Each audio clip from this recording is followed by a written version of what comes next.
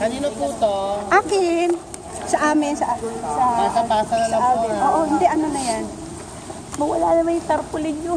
Sinong ano? Ay, oo nga, akin na. Wala na, wala na naman. Ate Grace, sinong pumunta natin? Ma- si Mama Ten. Mama Ten. Thank you. Thank you. See you in Pinasaudan during April.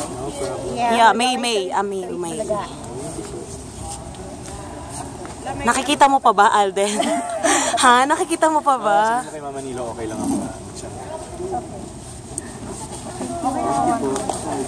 Oh, Alden. Thanks.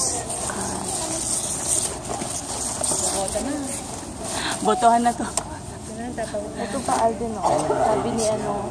Yung IDs nyo. Ay, IDs, IDs, IDs. Wala pa akong IDC. Yung ID. Nagawa.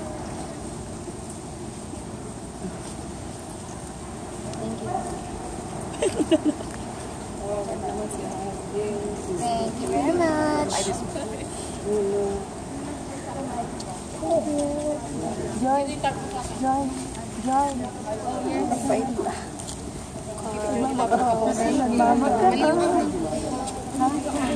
Ayan, nakaside. Nakaside. Awapo, wapo talaga. Slide lang. Harap pa dito mo.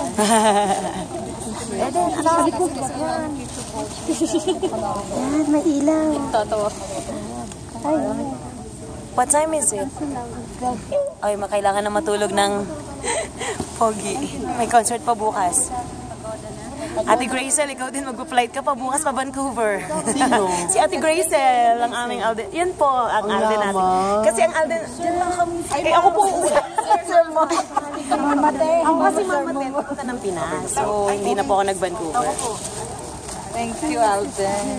Oh, oh, may tutor po. Pwede po ba kaming manood ng asawa ko? Paano kung... Ang kasi